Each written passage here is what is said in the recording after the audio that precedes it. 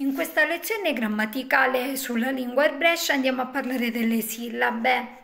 La divisione in sillabe delle parole erbresh è abbastanza semplice, ma differisce dall'italiano per la presenza di alcuni gruppi consonantici, come MB, ND, NG, NGJ, NX, FT, FSH che nella divisione sillabica non si scompongono. Per semplificare si può dire che in albanese tutti i gruppi consonantici che possono ritrovarsi anche ad inizio di parola non si separano nella divisione in sillabe.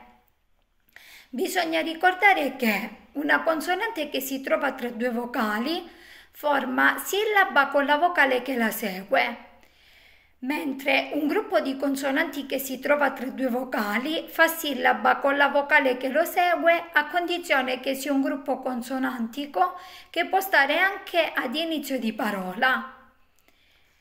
Quando due consonanti consecutive non si ritrovano mai ad inizio di parola, la prima fa parte della sillaba precedente, la seconda della seguente.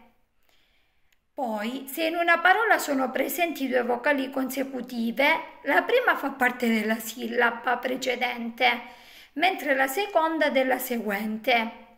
Bisogna ricordare che la J è da considerare una consonante. E infine, le parole composte si sillabano secondo i loro elementi costitutivi.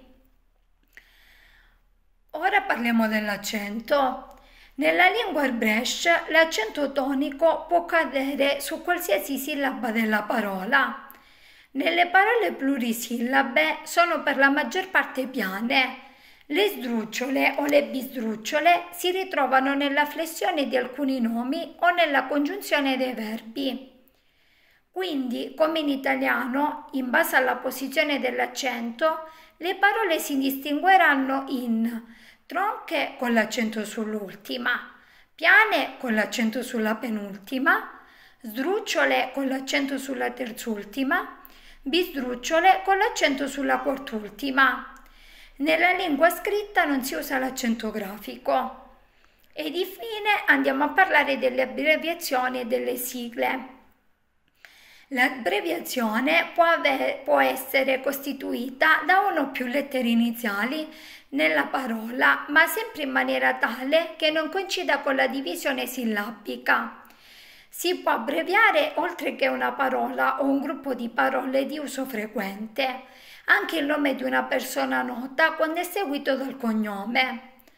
Anche le abbreviazioni seguono le stesse regole dell'italiano. Uno, dopo l'abbreviazione si segna sempre un punto e due, non richiedono il punto le abbreviazioni che indicano una misura. Le sigle invece sono costituite da lettere maiuscole che indicano le sole iniziali delle parole che compongono il nome di uno Stato, di un'azienda, di un'associazione, di un ente oppure di un partito politico. Tra le lettere di una sigla non si pone mai il punto nemmeno quando le lettere si nominano separatamente. Quando una parola inizia con un, di, con un digramma, entrambi i segni verranno rappresentati nella sigla e tutti e due maiuscoli.